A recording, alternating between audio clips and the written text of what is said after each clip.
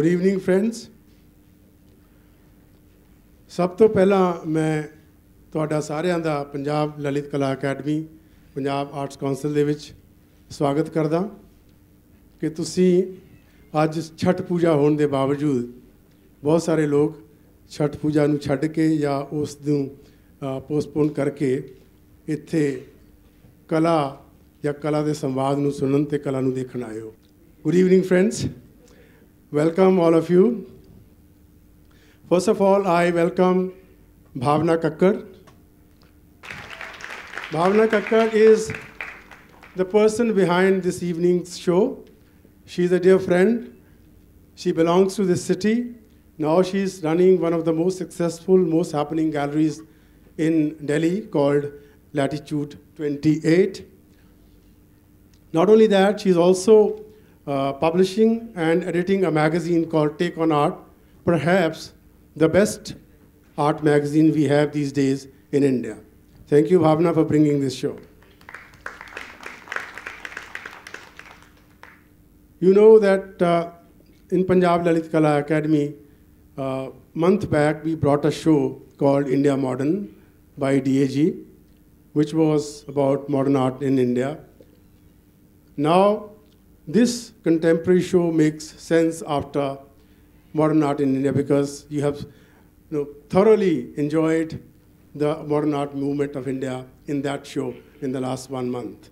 And now, the next step obviously was contemporary art, which Bhavna represents very well. And this particular show, which is very well displayed, in fact, very meticulously, painstakingly displayed by Bhavna and her team, so this, this uh, exhibition will be talked about in detail by Mr. Advait Singh, who has written the catalog and also partially helped Bhavana in curating the show. He will be introducing you the concept and about the exhibition. I am only going to talk about the logistics and other things, which I think is my duty today. We have also amongst us Mr. Veer Munshi, a wonderful artist, a very concerned, committed, passionate artist. You will witness his art, his, his you know, ideas in, in a few moments. In the beginning, Advait and Veer will in, uh, engage in a, dialogue. They'll talk about the show. Then after that, we'll see Veer's presentation. I thank you all. I thank Bhavna. I thank Advait. And uh, where is Rachita? She's probably in the gallery. Rachita, her, her assistant who helps her in the gallery, she is also here.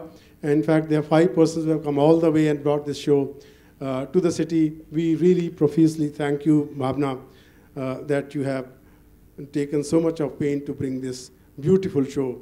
Very, very thoughtfully conceived and uh, designed show because we are talking about uh, not merely visuals, which are you know, uh, especially in various colleges of art these days, we see people are engaged in, uh, you know, creating something without putting their mind behind it. In this show, you'll see all the artists who have been chosen by Bhavana. They have something to talk to you about, to start a dialogue on various issues concerning, especially in this part of the world, including India, Pakistan, Bangladesh, Nepal, Taiwan, Iran. So all these artists were engaged in the thinking process and also how to create uh, their works based on those ideologies, you will see those in Veer's uh, dialogue as well as there in the, in the exhibition. Now I invite Bhavna to, to address you. Thank you, Bhavna. Thank you for coming and I hope you enjoy the exhibition and the talk. And I'll give the mic to Advait to introduce the exhibition to you in a slightly better, more elaborate manner. The exhibition comprises works by eight artists from India, Nepal, Bangladesh, Pakistan, Afghanistan, Taiwan, and Iran. The gallery director, Ms. Bhavna Kakar, has had a long history of working with artists from Southeast Asia, some of whose works are included here and bear a unique stamp, unified in their intent, themes, and aesthetic. The show comes out of an acknowledgement for cultural practitioners that have been witness to political strife, human trafficking, economic uh, exploitation, and social marginalization in regions of ongoing conflict, and who have taken upon themselves to silently record and testify to these mortally injustices through their practice. Both aesthetics and scale play out in the exhibition. These artists working from outside the political center stage bring an immediacy and sense of realism missing in the mainstream media accounts. The seductive aesthetic of traditional miniature styles, so uh, this particular aesthetic of uh, traditional miniature paintings, be it uh, Chinese, Gongbi, or uh, Xieyi, or uh, the Indian or Persian miniatures, is one of the unifying themes for the exhibition, as you'll see later. Uh, a lot of the, the artists like Feku from Taiwan, also uh, Wasim Ahmed from uh, Pakistan, Khadim Ali from Afghanistan, they use this uh, aesthetic to address contemporary concerns. Uh, in his, uh, one such artist is Delhi-based Veer Munshi, who has turned his inquiry to the war-torn state of Kashmir, also his homeland. In his installation, Relics from the Lost Paradise, on view here, Munshi contemplates on the nature and eventual futility of war, as well as the indiscriminate toll it exacts on both sides. For this installation, Munshi collaborated with local craftsmen, reconfiguring their skill and labor to voice a human rights concern. I'll now introduce uh, Veer Munshi briefly before handing the mic over. Born in Srinagar, Kashmir, Veer Munshi earned a bachelor's from Kashmir University, Srinagar, in 1976 and another bachelor's in fine arts uh, in painting from the MS University, Baroda in 1981. He has addressed a range of subjects in the course of his artistic career, spanning over three decades, but exile remains his most fundamental condition and preoccupation. Munshi consistently uses his art to reflect his anguish at the situation in his home state, his pain and struggle spilling over onto his canvas. Making a human rights statement rather than a political one, he has constantly sought to highlight the turmoil that comes with his separation from his heritage, and to highlight the increasingly narrow space that exists for culture and art in his state. He is also convinced that art, because of its universal nature, can play a significant role in the resolution of the Kashmir situation. The artist has held 17 solo exhibitions during his career, in addition to participating in numerous group exhibitions in India and abroad. And now over to Veer for his presentation. Thank you, uh, uh, Punjab Lalit Kala Akademi, Mr. President Diwan Manna, and Bhavna to bring this show here in Chandigarh and first time rather showing here as a part of the show. I think it's a very relevant show for present times, which has similar concerns in many places and has uh, same thematic and suffering or all these we share the same. I feel it's an expression of the situation, my body of work is an expression of the situation in Kashmir, which happens to be my homeland. I perceive my position in this war as an outsider and insider, where personal becomes political, to condemn human loss, be it be of a soldier or a civilian. It made me often think, why are we at war? Followed by the questions, what is war? What causes war? What is the relationship between human nature and war? Can war be morally justifiable? The answer leads to more specific ethical and political questions. The philosophy of war is complex. The subject matter lends itself to metaphysical and epistemological considerations to the philosophy of mind and, and, and the human nature. Bones here in casket belong to both victim and victimizer for reason indifferent to their ideologies. They are decorated in paper mache by Kashmiri craftsmen as a tribute if, if declared a martyr or peace and to retain their rich heritage of craft and belonging. I am engaged with this kind of work for last five years and uh, in collaboration with the craftsman. It's always, there's always a question, you are concerned of the people in every walks of life in Kashmir, which is, it could be a craftsman or it could be any commoner. What do they do within these areas of conflict. How do a craftsman work these days? Their content changes. Yet the craft remains, which is so rich, not to Kashmir only, but whole of country. I think these are the concerns I have, and we keep carrying these roots from our tradition, from rituals, from the craft, which we need to carry. I think we must carry them on. So, and th- these are related words to what I have done earlier, what was part of in the last art fair. I made this horse and this is the blind girl feeling the horse because the richness of it it doesn't make like even if you can't see you can't make feel of it so this was the horse which i personally uh, uh, is my nostalgic that when i was young i used to see this horse in these Muharram processions so this horse remained with me and by and by i discovered this community that there who carry this paper mache craft. So I connected the two together and they are carrying these bones. That's what happens in conflict areas. The content changes, but the craft remains. It's like how children play with the toys. They play with Kalashnikov and you know all these gun and bomb and this because they are born in that era where they have heard and seen these things. So that's my concern as political as well as the tradition you have. My major concern would be that cultural discourse rather than political one because these days political discourse have overtaken the basic facts that there could be much more to the place which, which is much richer uh, the culture like the sufi culture and and anything which is which is not much even the artist is a very very minority it may not be taken up so seriously, even the writers. There are writers, poets who keep doing many things on these issues. They take a middle path, they take a humanist part rather than political part. That's where I am. So here, this work is also, it, it is a reference from Agha Shahid Ali's uh, poem, Country Without Postbox, but here I'm making a letterbox from the valley which sends the message of, it is a shrapnel which keeps sending in through the letter. This is the detail of it. My latest work is uh, this, what I'm working on, is about a poet who has written about this particular era. And many poets have written, so I will be projecting these works very soon. It has an audio which you can listen, like uh, what Saadat Hussain Manto has said on the partition, so what Agha Shahid Ali has written on the conflict, or Lal Ded, the mystic poetess, has written, or many of these I am giving tribute to them by putting these on the pedestal and showing much more.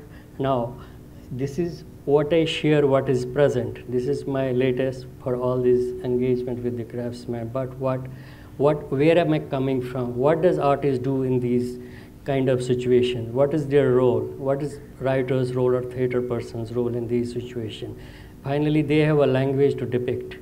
They are not a politician to decide, but they only provoke and dialogue about the concerns. But for, again, it is the art which is important to us. It is the language which is important. How do you transfer the idea what you are concerned of or what your experiences are? We are. It's a journey. Art doesn't come from anywhere. It comes from you. It is an extension of our own self. So that's how we depict the way we think, the way the language justifies it. That's what. And then why do I do political works? Because I have my concerns and I have my experiences. As is, as uh, says, exile has remained my main uh, focus point, my, my more close to heart. Then I may take you to the journey why I do it. Like. Uh, as Edward says, exile is strangely compelling to think about but terrible to experience. It's an unhealable rift between human being and native place, between the self and its true home. Its essential sadness can never be surmounted. That's where it. So I, I take you to the how I began a political discourse in term, through my works. It was right in 1990 when I left Kashmir due to obvious reasons, political reasons. So first, when I came to Delhi, as any artist comes and come to Bahawalpur House, I try to myself to be there, and uh, been there. It was a struggling period in 1990. This was the first work I did. Before that, I tried to do certain works which didn't work because the way I used to work, because I had come uh, from a narrative art school from Baroda. So my, uh, uh, my expression was very different till then, but this was 90, this was the migration, and this was displacement which made change my whole psyche and I learned a lot out of it. Uh, I don't mean these things should happen, but you don't succumb to such situation rather than you overgrow and use this energy and find their ways and analyze it much bigger, much better way, what, how you can contribute into these situations. So this was my first work and this, as I say in Bahawalpur House, this was the bathroom I would always go and contemplate there. I found this was the only place to myself. I would those days paint anything what happened in Kashmir. Any situation, if Maulana was killed, so I would paint here. It was very therapeutic for me also. This was Director Lassa Kaul, when he was killed, I painted here. Every part, after some uh, hundred odd paintings those days to you to uh, it's now I realize it's a good archival of that time, which was I was anywhere. It was very therapeutic for me. That's how I was painting. I was more trying to find survival. So I am showing you some of them because the time limitation I can't show all. So this is one more painting of the same time, same era. Uh, hope against hope. This was I have seen migrants in a queue for registering as refugee in Jammu.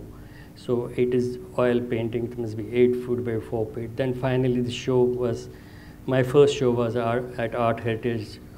Ibrahim Alkazi gave me the first break corpus show at Alkazi. So then I was also concerned of many issues. It was when Saddam was fallen from the pedestal, so we'll do uh, many such things. It's also a typical Nehru Gandhi photograph, and I will show Kashmiri chair and the gun on the Article 370.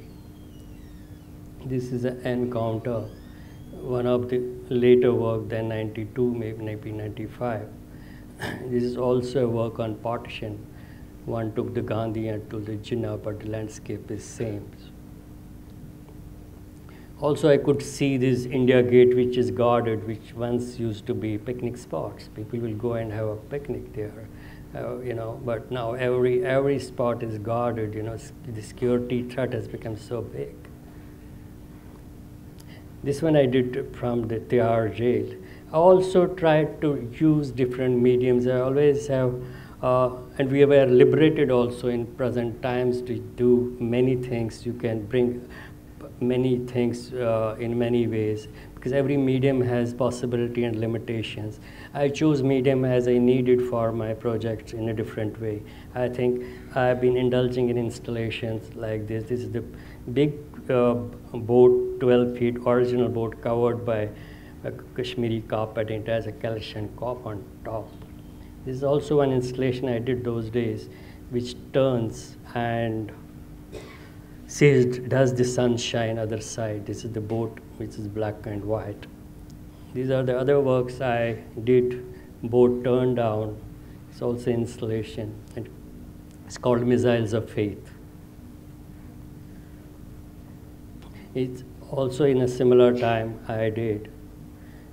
It's also Burial, which was a mobile show. It was curated by Vivan Okay, this is a burial uh, installation. It was basically a mobile cart.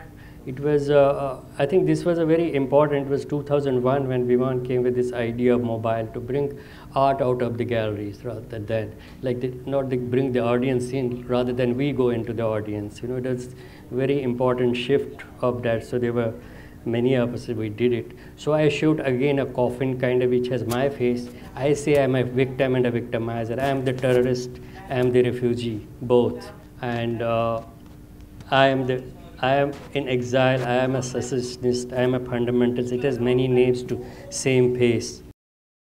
And uh, now you will see shikara on top, which is redundant, like in conflict times, it doesn't sell flowers in lake. This is, we went through the audience with the cart, so it had a different ball game. And this is another installation I did, uh, Winds of uh, Winds of Change. It's revolving, and there are helmets on top. This is used when you arrive in uh, Kashmir. You see a lot of army presence and Dal Lake. I also made this installation same time will there be redemption? It's also around which keeps moving down and these are pigeons on top and this man asks question. It, it has a sensor that i am a kashmiri what am i to you? And it moves on. Also did this is it's not related to conflict but this is my another installation building up in ahmedabad. Uh, these are some of my digital works which is also based on this This is a, a, famous Kashmiri dish, tabak maaz, but I relate it to breast beating, which I see often. This is one uh, because I moved to other things, so it's also for Palestinian child. We were doing some project. Gandhi's, I said, what Gandhi said, we do it differently. So this was one of these. It's also one digital work, Husain in exile. So I made Hanuman out of Hamara Hanuman. So, but, but always I had this question, uh, at some point when you grow a few years in doing this political work, you always have question, or people will question me, why you do political works. They still question me when I go to Kashmir. They say, why are you going to Kashmir? When I reach there, they say, why are you coming to Kashmir? Then I say, I get energy, I get oxygen from there, and that keeps me on in my study to work further uh, then I also think sometimes shouldn't I go out of it? And then I did try to go out of it and start doing one new series because I had a background from Baroda with my teachers from KG to Gulam to Nasreen to uh, Jyoti Bhatt. So we have learned different narrative who have also broken the pedagogy of the older generation of some way wanted to be concerned of their tradition and you know, uh, uh, uh, heritage. So those narrative moments I still carry and I feel I was enough skilled to do good paintings other than conflict. So I started this series, which was concerned not zodiac in astrological sense, but I, the people I wanted to paint whom I have been fascinated or read or, you know, being, so I made Van Gogh, who was the best Arian. So Charlie Chaplin too was there and would not see things straight, will see things in ups and down. These are very amusing, but it has a lot to do with the personalities. It made me to go through them. It's a Taurean gallery. Everyone there is a Taurean, Bertrand Russell to Lenin to anybody here. I make Geminian, Marley Monroe, Geminian work and Gauguin. Gauguin was and so am I, so I'm sitting there to paint. So I made Leo. I made Osho, the Sagittarian. I made Picasso, the Scorpion. Nelson, Cancerian. I made Bhupen Khakhar, the Piscean. Uh, he was very amused to see it. I made again Bhupen. I made Vajpayee those days. He was a Capricorn. Jesus was a Capricorn. So uh, uh, then I got these political election symbols. That time 360 symbols were registered. And we did this. I made Libra, Gandhi, Piscean again. I made Aquarius. Contemporary is temporary. I made all these artists into one frame uh, and said contemporary is temporary because always contemporariness doesn't remain there. Now these, uh, these one I have done recently large works, they're 15 feet long and 6 feet. I'm making three masters because Picasso was very charismatic, so I'm showing him. And he influenced the world, so he influenced the Souza and Husain in their own means, and it's against I also make this Last Supper, which is present, will be shown in Bombay in Saffron soon. Are the older generation. It's 20 feet. long painting, and uh, uh, so you can recognize some of them. Uh, Raza Krishen Khanna, Akbar Padamsee Jahangir Sabavala, and uh, Ram Kumar Husain. Souza's paintings, yeah, Souza is in that little jar, and then I have I have Tyeb, Swaminathan, Satish Gujral, KG, and uh, um, The one who's standing, uh, huh? the one who's standing. I'm forgetting. KG and uh, Huh? KG and I'm forgetting the sculptor, uh, Ram Kinkar Baij.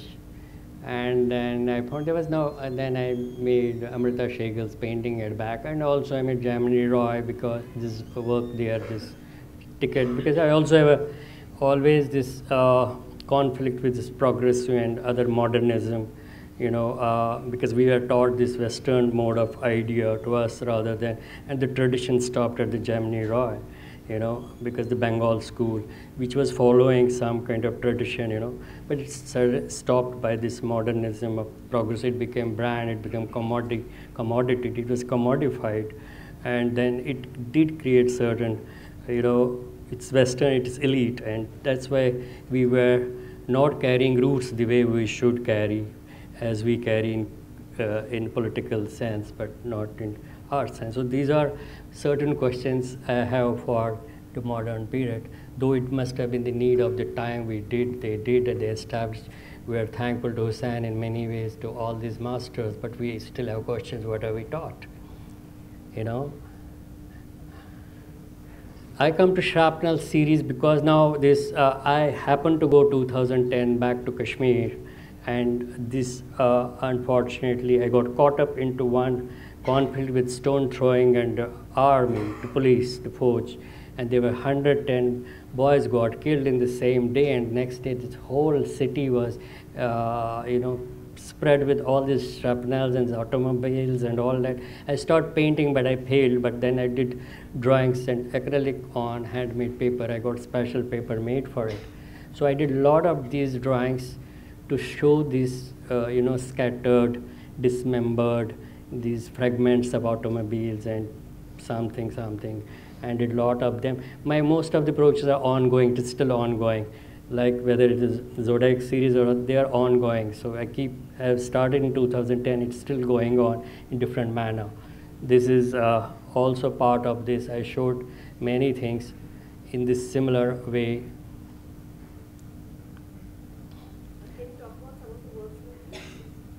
Yeah, I will. I will definitely. The shrapnel. This, this is simply I am showing youth of Kashmir in present time. That time I went to Cuba, I did it there. It's not part of this, but this is the Gandhi who I am showing as a welder.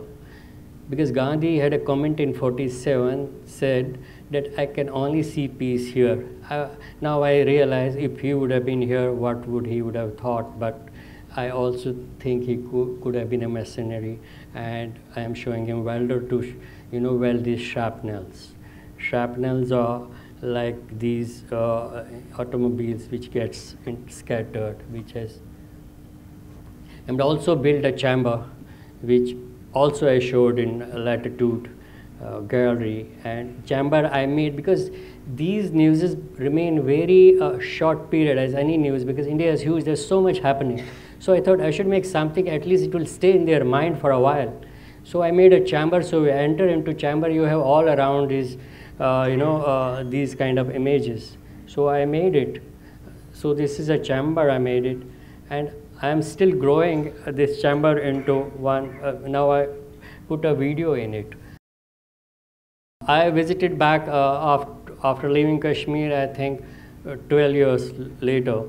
And, and I think 15 years later, when I went to see my place, I did go before, but I didn't go to my place. I went into different hotels. It's very different experience. It's very learning. It's very, uh, I can't express it. When you go first time back after many years, you have to stay in hotel. You can't, you know, you, you, you feel very strange. I checked out four, five, seven hotels. I could not stay. Uh, yet you had to stay. Then it was 90s, uh, I think it was 2000 or something. And then I couldn't stay. I stayed in a hotel, then moved early morning and came back to Delhi. Then I built enough courage to go back. So when I went, that then that time it was 15 years. As I left, uh, as you know, I left Kashmir due to political reasons. So my home was burnt uh, down much earlier in 93 uh, and changed hands, transferred into. Now I'm entering Kashmir after many, many years. So first glimpse is this.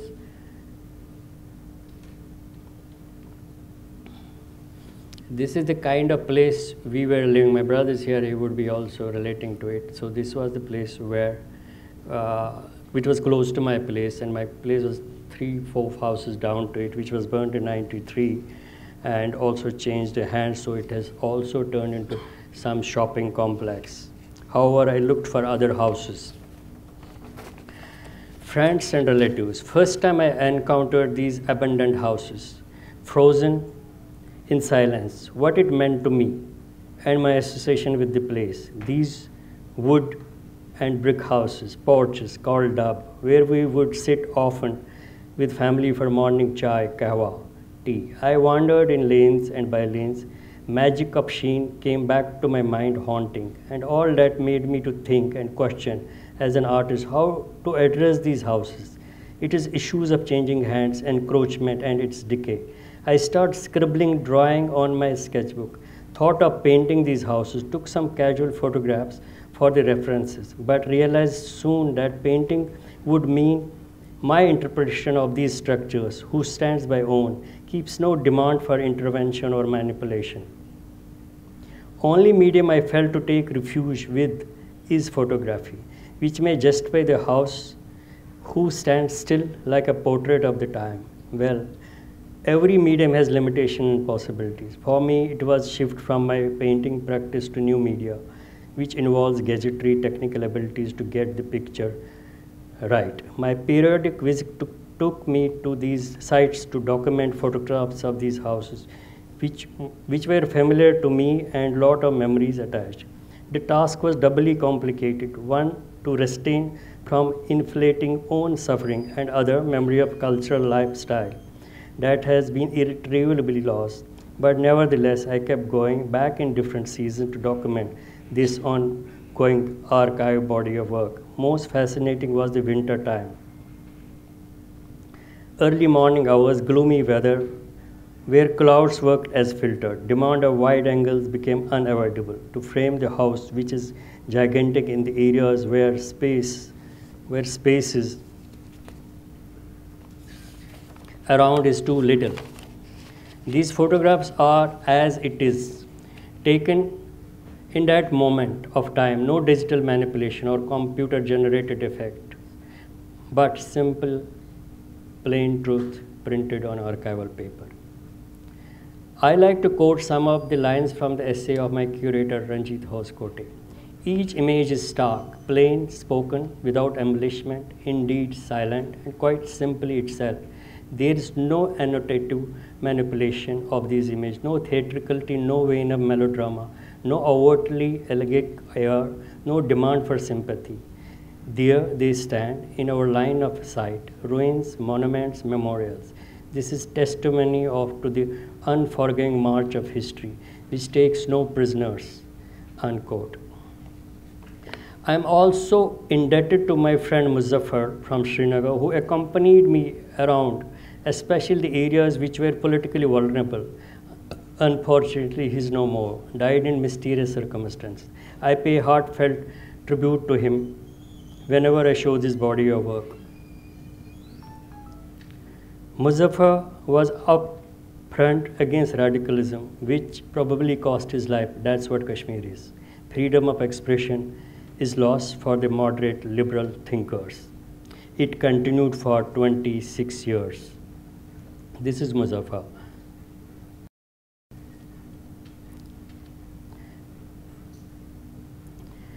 Problem is, I feel this continues, and uh, the problem is bigger than that. We guess this and that, this political discourse and polarizations, and uh, which happens more on television these days, and uh, the uh, reality is not solved.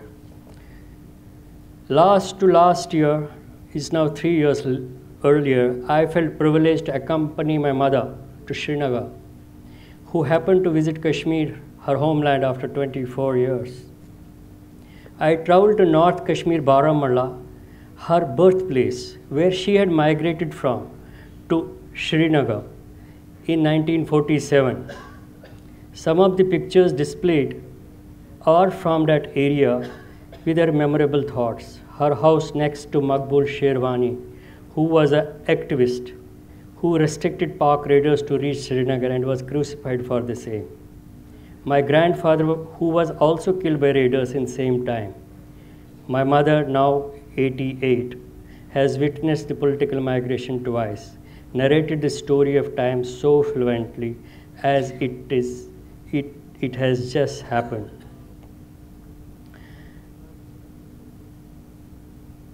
It also tells me because we have been hearing this story of migration from my mother and her, or her family, but uh, it doesn't touch your skin unless you go through it. So I would take it as okay, like a film. You see very serious Nazi film, and then tomorrow you see Salman Khan's film. So it dilutes the same at the same time. You know, in 90, I could feel what they were talking about. That made me to take her to her place, which she has never visited 60 years. So I thought it's very important. It was I felt like pilgrimage uh, to take her there. So it was very very uh, important. These abandoned houses having vernacular architecture in medieval times need to be restored, declared as heritage, becomes the role of activism, which now I am looking for so that one can save the cultural history of time, as they are decaying fast after changing hands, turning into glass, steel malls and shopping complex. As India shining to us means glass towers, we lose cultural heritage very fast and aesthetic sensibilities at the same time. I, real, I realize it's a tremendous task and needs a Herculean effort and will on the part of government, which given the various dynamics that operates in this state may not be easy to come by. To add To add salt to the wounds, nature dealt its own blow with massive floods never seen before in the valley, rendering millions homeless. The ravaging floods of September 2014 have inflicted unprecedented loss of life property in Kashmir and number of houses which need to be protected as heritage disseminated with floods. What a loss. A deluge of rainwater and discharge of the Jhelum River, which flows in a snake-like manner through Srinagar, has left the state debilitated. I remember getting disconnected from the people of the valley for many days because I was going traveling that time there, which we couldn't uh, with other artists. We were booked on a houseboat where there was a marriage. I wanted to show those artists the folk, sangeet, and the food. You know, Kashmir is meant for. So, but we were not allowed to come because it was raining. So I was remembering getting disconnected from the people of the valley for many days. This stark reality continued to disturb me. I am an artist, felt helpless, and the least I could do to paint the faces of those I remember and shared early part of my life when I used to live in Srinagar or associated in recent past, may it be teacher, writer, poet, shopkeeper, barber, and others, exhibited in my project Serenity of Dissolution, displayed at India Art Fair 2015.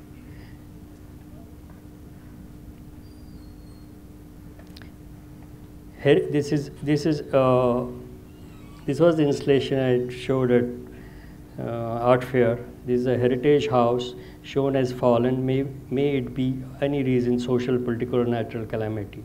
Try to capture some of the anguish I felt visited by viewers to feel the experience of flood through video loop projected on one of the wall inside house through the traditional window. And I also hope it creates awareness plight of the people of Kashmir.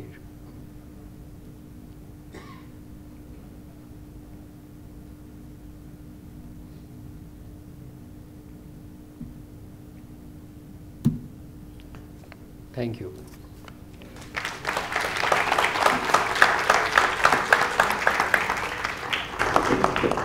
Uh, it's a, such a moving, strong statement which you have been making. I, I'm sure all of us uh, are today witness to something which uh, must have moved you know, most of us from inside because we have been witness to various kinds of atrocities and turmoils taking place all around us, especially in Kashmir. A person who has been dislocated from his house because of you know other reasons, not his or his family's own choice.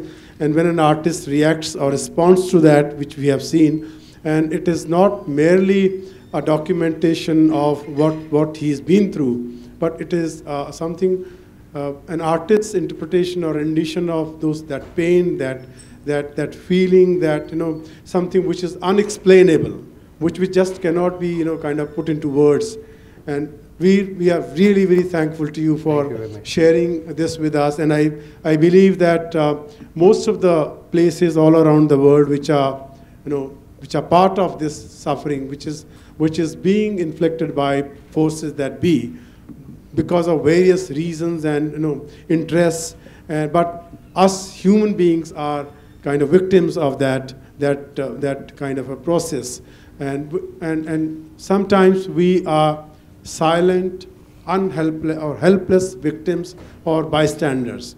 We really can't do anything about that when, when we are kind of you know uh, confronted with that kind of brute force which those agencies or countries or you know interest groups have with them which we do not have so all of us artists art lovers which are wanting to live a peaceful life uh, a life which is you know perhaps possibly which could be without any suffering, without any, any of these conflicts, but it doesn't happen. In fact, we are talking about 5,000 years ago when there were conflicts, various kings and queens and you know, Maharajas, they have been indulging in all kinds of you know, interest, trying to serve the territory of other countries, which now become our heroes. I'm not a student of history, but we feel, you know, somebody who has been an invader, later on he or she becomes a, a hero of various communities or countries. So, I- as, as, as citizens of this world, we should in fact denounce all this. We should try to bring forth some kind of, as you say, a welder, you know, somebody who, who welds all those, uh, you know, kind of broken parts together, whether we are white or black or yellow or brown, doesn't really matter. The same blood runs through our veins, and we think similarly, so that we can live peacefully, happily. You know, you have you have brought all those feelings amongst us. And because of various reasons, other artists could not be here. Since Veer is here, so Bhavna wanted to give you a glimpse of what this exhibition is like, what all these artists who are represented here, how they feel like. Thank you, Bhavna. Thank you, Veer. Thank you, Advait. And we have prepared uh, souvenir items with the Bhavna is very, very, very kind to us to give us the copyrights to produce those memorabilia souvenir items. They are up for sale. We do not really make many money out of it. Our purpose is to spread the word, to spread the message through those artworks, which are images which are reproduced on, on those items. Thank you once again.